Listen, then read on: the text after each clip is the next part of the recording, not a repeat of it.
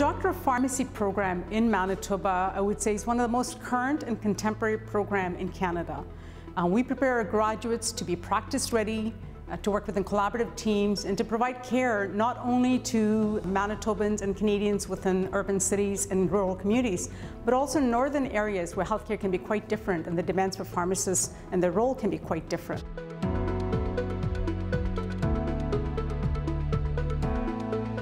When we think of patient care, uh, no health professional works in silos. To really provide the best patient care, we need to have integrated collaborative patient care uh, practices.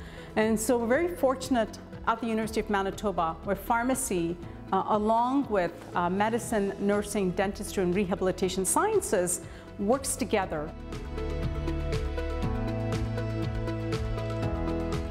There's a ton of student research opportunities available here at the College of Pharmacy, whether you want to do more qualitative or quantitative, work in a lab, or work with data. Um, throughout your program, you have opportunities to take part in a summer research program where your entire summer is dedicated and funded towards a single research project.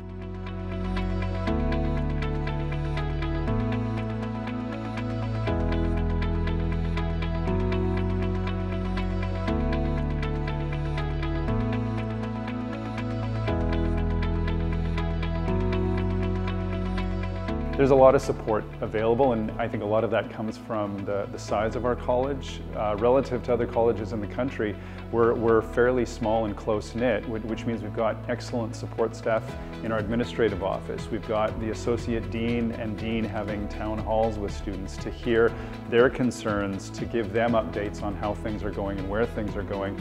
And then there are, are things uh, as simple as professors opening their doors and making sure, and now that we're in a, a physical space, to actually open doors. It's, it's really exciting that students can just come by.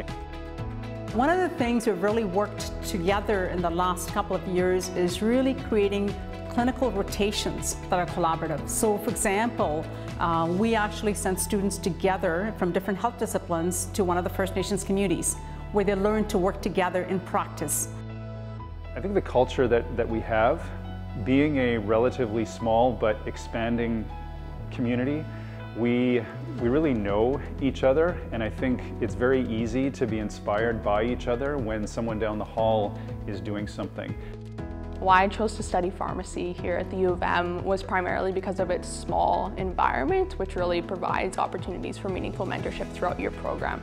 So when you find an area that you really love, the college is here to support you and connect you with people, whether it be pharmacists within the province or within the country to meet your own um, educational goals. And now in my last year of pharmacy, looking back, the University of Manitoba has been able to provide me with kind of finding my three main passions, education, um, leadership, and advocacy.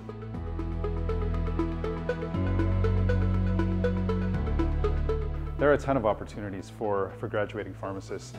There's going to be a good number that are going to gravitate towards the world of community pharmacy where you have that frequent and essential contact with day-to-day -day patients, hospital pharmacy, many realms within that from general medicine to surgical wards, cardiology, ICU.